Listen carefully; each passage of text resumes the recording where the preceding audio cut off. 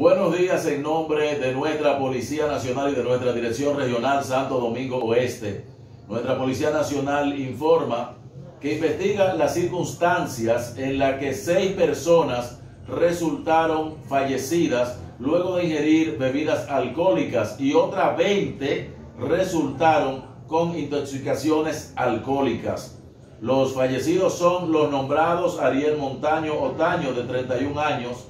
Pedro Vallejo Reyes de 38, Eduard Benavides Beltrán de 30 años, Gregorio Alberto Pacheco de 64 años, Pedro Emanuel Cuevas de 19 y la señora María Magdalena Montero de 51 años.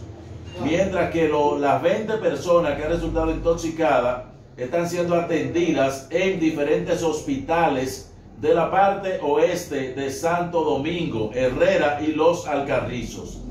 Nuestra Policía Nacional investiga las circunstancias en las que estas personas resultaron intoxicadas y seis de ellos fallecidos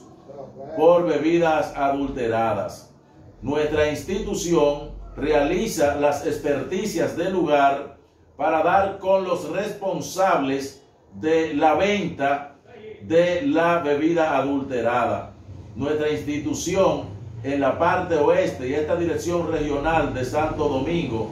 ha recibido instrucciones precisas de nuestro señor director general, mayor general, licenciado Eduardo Ramón Sánchez González, instruidas a nuestro director regional de Santo Domingo Oeste, coronel Franklin Grullón Collado, y al subdirector adjunto de contra homicidio y de la DICRIN en la parte oeste de Santo Domingo, coronel Julio Calderón, para que encabece una exhaustiva investigación y una comisión que va a realizar la investigación de estos hechos. Lamentable, nuestra Policía Nacional lamenta el fallecimiento de estas personas al tiempo de exhortarle a la población a mantener la prudencia y el cuidado y a no ingerir estos tipos de bebidas, a mantener el orden y el cuidado con lo que eh, ha estado ocurriendo, que ha traído el luto a la familia dominicana, muy especialmente a las personas familiares de estos fallecidos y las personas que se encuentran hospitalizadas. Nuestra Policía Nacional continúa las investigaciones a fin de dar con los responsables y ponerlo a disposición de la justicia.